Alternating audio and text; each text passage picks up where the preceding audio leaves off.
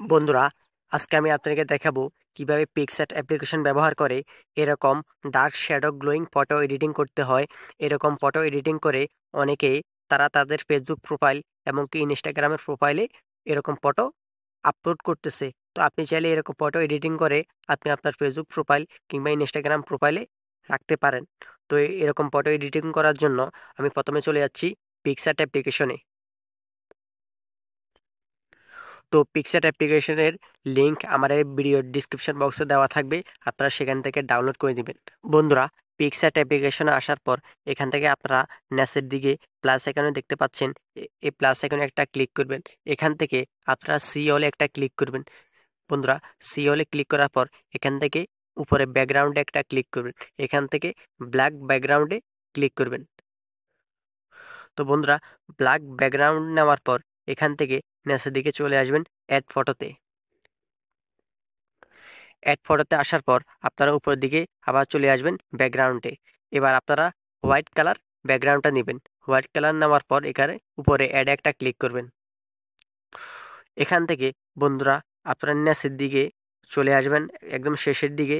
এখানে শেপ নামে একটা অপশন দেখতে পাচ্ছেন শেপে একটা ক্লিক করবেন। শেপে ক্লিক করার পর এখানে তিন নম্বর আবার শেপে একটা ক্লিক করবেন।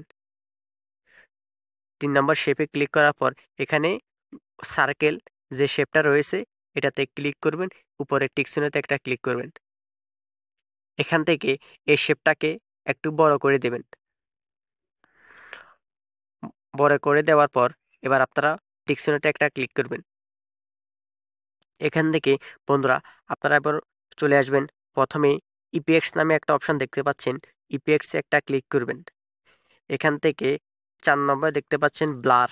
ব্লারে একটা ক্লিক করবেন। এখান থেকে ব্লারে ক্লিক করার পর প্রথম ব্লারে একটা ক্লিক করবেন। এখান থেকে ব্লারে আরেকটা ক্লিক করবেন। এখান থেকে ব্লারটাকে একটু বাড়িয়ে দেবেন। তো আমি এটাকে চল্লিশ পার্সেন্ট করে দিয়েছি। এবার আপনারা টেক্সিনোতে একটা ক্লিক ক্লিক করবেন। বন্ধুরা, টেক্সিনোতে ক্লিক করার পর এখানে একদম ন্যাচে চলে আসবেন আবার অ্যাড ফটোতে অ্যাড ফটোতে একটা ক্লিক করবেন। এখান থেকে যে ফটোটা এডিটিং করতে চান ওই ফটোটাকে ইনপুট করবেন। তো আমি এক্সাম্পল একটা ফটো ইনপুট করছি। বন্ধুরা, ফটোটাকে আপনারা সার্কেল বরাবর বসাবেন। এখান থেকে আপনারা অপাসিটির পাশে দেখতে পাচ্ছেন রিমুভ বিজি এটাতে একটা ক্লিক করবেন।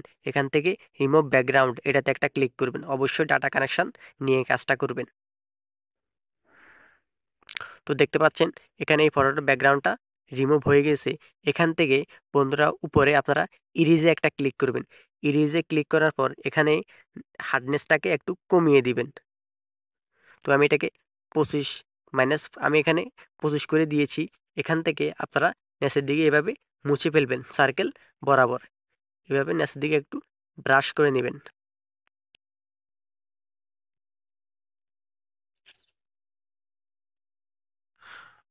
বন্ধুরা এবার আপনারা টিকসিনোতে একটা ক্লিক করবেন। বন্ধুরা টিকসিনোতে ক্লিক করার পর আপনারা এবার প্রথমে চলে আসবেন আবার ইপিএক্সে ইপিএক্সে আসার পর এখান থেকে নেচে চলে আসবেন কালার্স কালার্সে আসার পর এখান থেকে আপনারা চলে আসবেন ব্ল্যাক অ্যান্ড হোয়াইট এখানে দেখতে পাচ্ছেন ব্ল্যাক অ্যান্ড হোয়াইট এটাতে একটা ক্লিক করবেন। এটাকে আরেকটা ক্লিক করবেন। এখান থেকে অ্যামাউন্টটাকে এক করে দিবেন। এক, বন্ধুরা অ্যামাউন্টটাকে এক করে দেওয়ার পর এবার টিকসিনোতে একটা ক্লিক করবেন। বন্ধুরা, এখান থেকে আবার চলে আসবেন ইপিএক্সে ইপিএক্সে আসার পর এখান থেকে প্রথমে সিম্পল এটা দেখতে পাচ্ছেন, এখান থেকে আপনারা বিআইএন ফোর এটাতে একটা ক্লিক করবেন। এখান থেকে শেষের দিকেই দেখতে পারবেন বিআইএন এ, এখান থেকে বিআইএন ফোর এটাতে ক্লিক করবেন। এটাকে এক পার্সেন্ট করে দেবেন। তো আমি এক পার্সেন্ট করে দিয়েছি। এবার টিকসিনেতে একটা ক্লিক করবেন। তো দেখতে পাচ্ছেন বন্ধুরা, আমাদের অলরেডি ফটোটা এডিটিং করা হয়ে গেছে। এভাবে চাইলে আপনারা এরকম dark shadow glowing photo editing করতে পারবেন। তো আশা করি আমার এই ভিডিওটা আপনাদের উপকারে আসছে। তো যারা যারা নতুন আমার এই ভিডিও দেখতেছেন, অবশ্যই আমার এই চ্যানেলটা সাবস্ক্রাইব করবেন লাইক করবেন কমেন্ট করবেন এবং বন্ধুদের মাধ্যমে শেয়ার করবেন। তো ধন্যবাদ সবাইকে।